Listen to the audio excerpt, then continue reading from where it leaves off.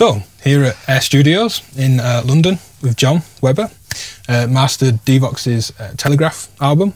Uh, but I wanted to take a minute to talk about your general approach to mastering. A piece of music, say, comes in, a new client, existing client. Okay. What's the process? What's kind of going through your mind to start with? So I guess the first thing we do is we sort of um, check the file. It's usually a file that comes in these days, but we can still deal with other formats, tapes and, and whatnot. Um, so the first thing we would do is is check that on a technical level, make sure that it sounds good. Um, listen through to the piece of music, make sure uh, if there's any sort of kind of problems with the mix, then um, we can. We're in a position these days where you can easily relay that information back down the chain to the mix engineer Yeah. and things can be fixed um, at the previous stage before mastering, um, which is a really handy uh, modern convenience, I guess. Yeah. Um, so we kind of we kind of act as a sort of consultation base, other sort of consultation basis these Yeah. days, um, a lot more than we used to be able to. Where someone's just gone into the studio um, and done an SSL mix, and they've Yeah, spent this is all you've got five hundred quid on. a day in the studio. Yeah, exactly. And you have to kind of deal with what you're given. These days, we have the luxury of being able to go back a stage and fix any particular problem. So that's become a sort of uh, more of a part of the mastering process than it used to be. Um, so yeah, we sort of lend an ear to it. Um, and then, all being well with that, uh, what we would then typically do is we would um, load the file into uh, sort of playback system. So we may playback, usually we playback from, from a DAW. So we use uh, Magix Sequoia here, um, which is great for mastering. Um, uh, it's particularly good because it has a sort of an object-based way of working. What that means is every audio region can be an individual um, object where you can actually insert processes onto the region Yeah. as opposed to just on the mixer. And I'll grab some overlays of the screen Yeah, as well, yeah, so yeah, we no can worries. we can interject some images. Yeah. Um, Um, and then So, it's, so for the case of the album, it's Mm-hmm. about from the get go creating the album, the intent of the whole thing, the flow of the whole piece. yeah, absolutely. It's not Um, a track by track, Well, we can do. I mean, obviously, people do give us tracks and singles. Um, but you're already thinking of the kind of journey. yeah, yeah. I mean, I, I think mastering really, it truly is actually getting um, a bunch of mixes and, and bringing a, bringing a project together, bringing an album together, Yeah. and uh, putting the final touches on an overall project and thinking about it from a more general standpoint. Uh, because I think when people are mixing, particularly, they're obviously kind of dealing with things as they come uh, Yeah. on a track track on a track to track basis. And we're kind of there to sort of put a sort of overall sheen on, on everything and trying to bring everything together. Um, yeah, there's less of an overall.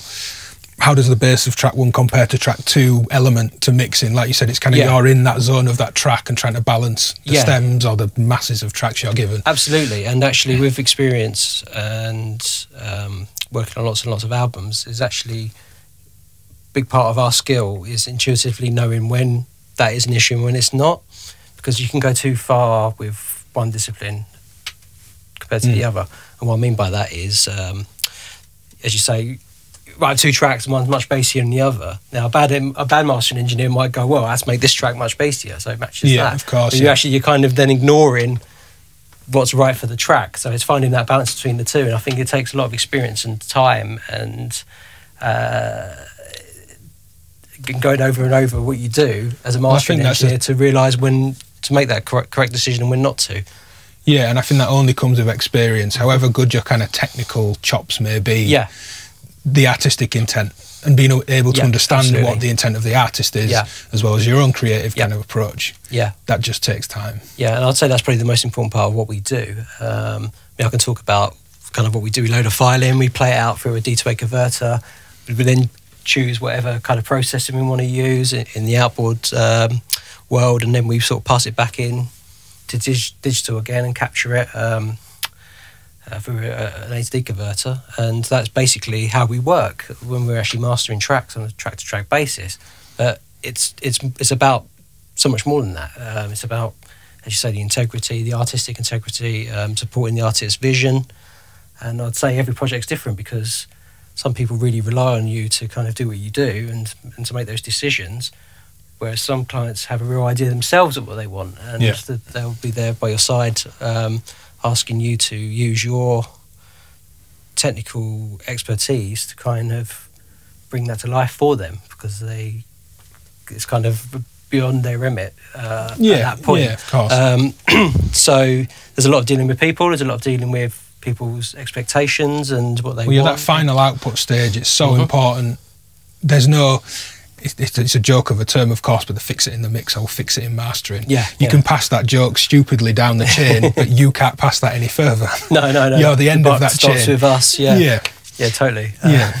I mean, in terms of process, taking the Devox album or any kind of wide range in Mhm. electronic music, be it modular or otherwise, do you have any processes that you feel particularly work well? Like uh, in terms of kind of technical use, is it layering multiple soft stages of compression to get more level? Is it certain, you know, saturation, then EQ, stereo width? What kind of technical things are you looking to do? I guess it applies to any music, not just electronic music, but well, it does, yes. And um, interestingly, with this album, uh, it, we we didn't do kind of what you might typically expect to be done on an electronic album. Um, I think a lot of people have this kind of preconceived idea that um, electronic music is quite uh, processed and crushed and. Uh, and, and push for loudness, like you know, well, I was, it was kind of kind of putting incorrectly putting a genre like this into the sort of EDM bracket. Yeah, and it was a total Uh, pleasure to hear this not like that. I heard Oh, it totally. un- It's actually- unmastered and then mastered. Yeah. And I mean, knowing it was you and being aware of your work, I knew I wasn't going to get a horrible squashed dance master over Mm-hmm. over this kind of album, but it just breathes. Yeah. Th- There's a life to it. There's clearly things done, however subtle, just to pull it to life and There's actually it to its two tracks on this album where we used a uh, Weiss DS1 as an expander. So instead of Okay. compressing it, we were actually uncompressing, trying to breathe, as you say, add breath to the overall sound and the overall texture. Um, and, and sort of impart dynamics into the music as, uh, instead of going the other way and, and squashing it. Um, I think sometimes electronic music can be a bit too kind of lifeless and on one even kill. You know, there's no Yeah. dynamics and no musical integrity there. It's just kind of four to the floor and a load of padded stuff, and yeah, it's yeah. just all about kind of being excited and, and banging. But you know, this is a much more kind of uh, there's a much wider palette of sounds here Yeah. and, and and emotions. It's not a banging dance album. It's a you know, it's it's a it's a kind of atmospheric at times, and then it's kind of dancey at times, and it kind of shifts through the gears. Um, so that was what was interesting to me. Um, So for this, specifically for the Devox Mm-hmm. album, did you find a particular chain that you j- just really spoke to the audio that you were given through the gear or, or the software? Um, no, actually, funnily enough, I used a different. So I used quite a lot of outboard EQs on this album. Um, we jumped between pretty much all the ones we have here. Um, Again, I'll, I'll overlay yeah, images. yeah, yeah. But so, for example, we, we used the uh, Chandler uh, TG curve bender EQ on a couple of tracks because it kind of added that kind of rich tonality um, in the mid range. And is that a case of you listen, you're listening to the track and your experience tells you which one? Yeah, uh, yeah. I think intu- intuitively, you know the gear well these enough. things, w- yeah, over and over again, you kind of know what to go for. Um, and then on some tracks, they already had quite a lot of that kind of density in in the sound anyway. So I wanted to go for something a bit cleaner. So I might have used the um, sorry, the Dangerous Music BAX EQ, for example, just to open things up a bit. Um, and I think we used the API, API five uh, five thousand five hundred on a couple of tracks as well. Um, that's quite good at adding a bit of energy back in, but you've also got that kind of a bit of analog richness. Mm. So how much of the, the process was dictated by knowing what format it was going to be in? Well, funnily enough, we um, Or was it just mastered No, for the we quality had- we of had- the music up front? we I think we had vinyl in mind from the start, funnily enough, and um, quite often in the modern age of music, people expect one master for one thing and then another master for another. So, Well, you see all for these- example, um, very compressed CD masters don't make good vinyl masters. Uh, No. they can end up sounding very soft and very overmodded and, uh, and not translate very well to a lacquer cut at all. Um, luckily, uh, these guys didn't want that from the off anyway. We were kind of we wanted like a warm, evoking kind of um, immersive kind of experience listening to the album sonically, um, and I think that was the idea everyone had from the off. So actually, I didn't really need to do too much adjustment um, when I mastered the vinyl. Um, I seem to remember that the mixes were a bit different for the sides, so we had to run stuff twice um, in terms of the outboard processing and, and whatnot. Um, but yeah, I mean the, the approach to actually the CD and the vinyl were very similar in Okay. terms in terms of the sound and the overall palette of the sound and the overall tonality and levels and the way the album flows. Yeah, and thinking of the vinyl, how much are you having to change what you're doing as you get through the album in terms of bass response being better at the start of the record, losing top end as you go in? Sure. Okay. You know, tonal response of the vinyl changes. You'll know far more than about this Yeah. than me, but as it, you get through the album, are you having to readjust as you go, or Um, well, with this, there wasn't too much of that to consider. Uh, first of all, it's a double album, so we, we were able to sort of um, only use, say, sort of uh, 70 80% of the side. Uh, So not cramming not have to so worry too much. minutes. Yeah, no, so all those kind of end of side issues you get with vinyl, where the top end rolls off or distorts. Um, that was less of an issue because we, we had that freedom to be able Yeah. to, to do, we had- the space per side because it's like 15 minute sides. Um, so, that, so that was great. So that kind of really helped with the uh, with the uh, overall quality of, of the sound uh, from start to finish. Um, there's you know none of that distortion was really an issue. Mm. Uh, secondly, the kind of music it is, uh, there isn't there wasn't too many percussive high frequency issues. Um, um, for example, there's no vocals, for example, and one of the, one of the main um, problems with cutting alongside um, is when you've got a very sibilant vocal and you've got those yeah, kind of uh, peaky, high frequency blasts that um, are not vinyl friendly. So we had none of that to really deal with. So um, there's there's a lot of fidelity I think that we got onto onto the record, and Yeah. it and obviously when I cut the record, I was using like scrap lacquers and stuff, and AB in between the the the digital playback. Which was again, which by the way was done. Uh, I think we did it at 96k, so we did Okay. it quite high res. So we had the most integral kind of master possible to cut to vinyl. It's not just a CD master cut to the lacquer. We we created a high res file um, for that purpose. Mm. And one thing, just to, we'll go specifically through the album with, with Paul and Nino, but um, for anyone getting into or needing to master their own music, just to give it maybe a soft touch to before it goes online, have you any kind of tips or tricks on?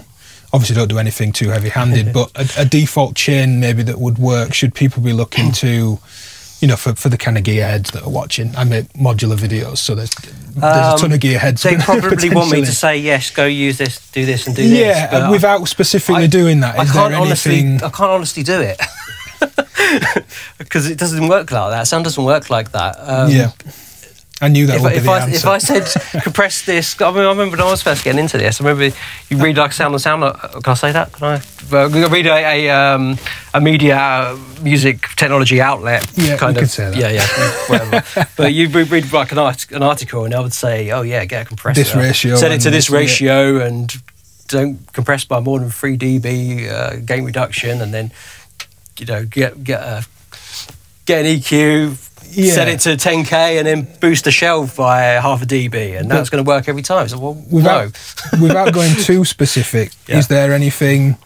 You know, the order that things come within or considerations to make in certain frequency areas, or is there any kind of general advice that people can try and apply? I think the best thing you can do, really, um, I think low end is always a problem um, in the modern. Um, actually, even in big, even in big rooms, big mix rooms, um, the low end can be very hard to judge, um, and you can only really get a full perspective of what's correct when you play it in different on different systems and in different Yeah. environments.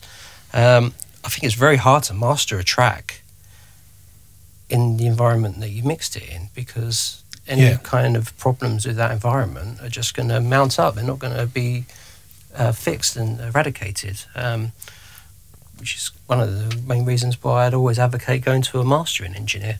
So again, it's hard for me to answer that question because I have this kind of beliefs and um, and also kind of experience of, of knowing what why mastering doesn't work when you do it yourself. Um, I think that I think there's a huge thing to just having someone else do it. Whether that's Totally. an engineer like yourself, Yeah. Or just, I mean, it's hard to measure these things, or just a mm-hmm. friend at a similar level, similar Yeah. ears, different system, Yeah. just getting out of that space Yeah. and your own ears and having someone else. I think the most important thing is make sure your mix is good, and then we basically don't really do too much to it when it's a good mix. And if there is something kind of wildly, I mean, quite often I'll have to go back and to, to people and say, you, you know, this, the, the bass end is quite wildly too much, and they're like, oh really? It sounds fine on my speakers, and then. Um, they might then compare it to a commercial track and then realise, you know, that, that, that, that, there's an issue there. Um, I think that's probably the most. Well, it, it's you as a person in the experience, obviously, but mm. that's probably the most valuable thing is that uh, being able to address the mix. I think having someone tell you what's wrong is probably going to have a bigger change. Yes. If they can Absolutely. fix these things and you be able to feedback and, and get this across to them, then yeah. What Absolutely. gear you've got to adjust it afterwards. Plus, I think it's also a good point to say that I think the the kind of concept of mixing and mastering, the, the lines have come quite blurred for some reason. Yeah. Um, I mean, the amount of times we get a mix which, oh, could you master it? Make it sound great. And then, then they've piled all this uh, all this all this processing on the master bus of the mix. Mm. Now, a master bus is called a master bus because that's where you put the processing for the mastering. Yeah. so they've kind of attempted to master the track themselves, and that is that can be creatively valid because, especially if they've got it on um, during the mix process and they're mixing in because they're mixing that, into the process. Exactly, that's exactly what the concept of mixed bus compression is. And in, yeah. um, the mistake with that is that people will do a mix and then put a mixed bus compressor on. It's like, well, no, that's not how it works. The actual the gain reduction and the way a mixed compressor works um, is part of the mixed process. When you're you're making decisions going in, feeding, but feeding signals into that it. sound. If you if you're exactly, are you producing valid. to be loud yeah. from the off? Because yeah. that's a very different approach to just capturing raw sound. Absolutely. At yeah. which point you don't just want to squash it No, no, no. Anyway, so, so we spoke about um, the vinyl specifically. Mm-hmm. Thinking of downloads and digital, how much of your time now is spent, you know, thinking about playback levels and average levels on YouTube and Spotify? And um, honestly, very little. Um, is it still all just about making the, the song or the album right? It absolutely is, yes. And I think it's those kind of the way that the, the modern streaming world operates, where it, I think kind of every streaming well, they uh, all have their own average in. All have their own average. Which, to be fair, they're all they're all they're all between they're all within a few dB of each other. Yeah, so they are. I, f- I think that's actually kind of a positive thing because there's less. Um, there's less need to just squash things for, for loudness' sake. I like that it's killing the loudness it, thing, but I wonder, CD era kind of yeah. mentality. Um, but with a with a dynamic album uh, like Telegraph, mm do you have to think about maybe we need to add a little bit more compression so that we're not so we're in this average level somewhere? Or does that still not even come into the thought process? No because i think the, at the level we mastered the, if you think about the actual kind of peak output uh, or the average level output um, of the master it's pretty much at or slightly above where most of these streaming sites set the level anyway so yeah. it's going to it's not squashed, so it's, it's it's much perfectly slot into that world. And then if you've got like the latest, um, uh, who can I uh, scold? Uh, Lady Gaga release or, or something, and that's been like uh, and actually, to be fair, her albums sound pretty good. Um, but do you know what I mean? Like, yeah, um, latest commercial. Yeah, la- the latest guy. With, yeah, I don't know what the kids listen to now, but um, yeah, something that's massively squashed. I mean, the problem with the issue with that is it's going to have to be turned down yeah, to, to so match peak is down. Yeah, to match the integrated loudness level that that streaming site wants. So then ultimately this is louder because its average will average out within that system, but this still yeah, not necessarily loud, not necessarily louder, but it'll sound well, a lot more, dynamic. open. Yeah. You won't have that constrained. Yeah. yeah, peak loudness is louder. Exactly, just their average is a, exactly. if anybody thinks that something's louder sounds better, that's they need to kind of. look at the reason why controls. yeah, yeah, because they're actually that's the psychoacoustic thing. That's you listening uh, that's your brain telling you and your ear telling you that it's more exciting because it's louder. Um, if you then turn that audio down, I mean, everyone talks about this now, so I'm sure it's pretty common knowledge these days. But you turn that level down and then listen to a version of your your, your source mix, even say it's a good mix and you, you, you really crushed it. And you're like, oh, this sounds really exciting and punchy and loud. If you then turn that down, say six dB to match you, the average level of your mix, and then you flick between the two. Yeah, it's nice. That, that's the real acid test. It's like have you made it better? And most yeah. of the time you haven't. Most of the time you've you've caused damage and made it less exciting and flat sounding and the bass is all constrained and doesn't have the extension and the roll and it, and the top end's got fizzy and hard sounding, and it's it's um it's really interesting. Yeah. and yeah, I think it's positive. And as I say, in the, in the new age, it's funny how the digital age has actually allowed us to do that, where music's become to stop squashing. yeah, yeah, less squashed, and we we have um, we can be a bit more expressive as mastering engineers as well, not just trying to make everything loud all the time. Yeah, and I, I don't think anyone watching will have expected you to say you were using expanders to add dynamic range and effectively lower the average level than just compression and limiting. I think it's the opposite of what some people think mastering actually is. Yeah, well, there's loads of headroom in the mix anyway, so the overall level of the mixes were louder, but we um, there was it was more to do with the um, integrated dynamics of in the mix and, and, and expanding that and making making it kind of breathe a bit more and have a you know uh, a bit more dynamic. Yeah. So we'll we'll let Paul and Nino uh, get into some specifics on the album Sure. uh, with you as well.